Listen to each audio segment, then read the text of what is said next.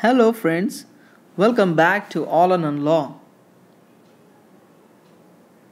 And this is a medical video lecture or you can call it as a USMLE Pearl because this is a very small topic and very important things you should know. USMLE Pearl and today's topic of discussion or briefly i'm going to talk i'm going to give you some important points that will help you for your USMLE step 1 examination. And that is transport of thyroid hormones in the blood. Transport of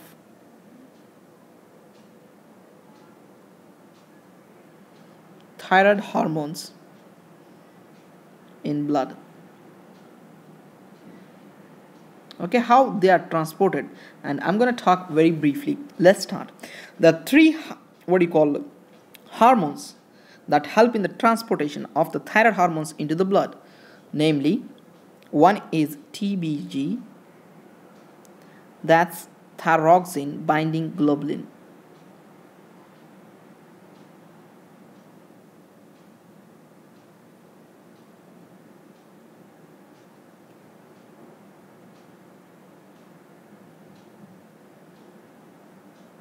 and the second thing is TBPA TBPA thyroxine binding thyroxine sorry TBPA thyroxine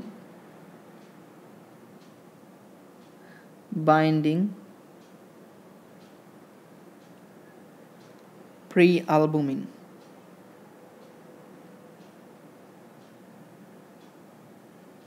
Prealbumin. Okay now the third one is that contributes very little is albumin. Okay guys? So this i'm going to talk briefly at the tbg this is a glycoprotein and what do you call uh, it has very great affinity for thyroxine okay?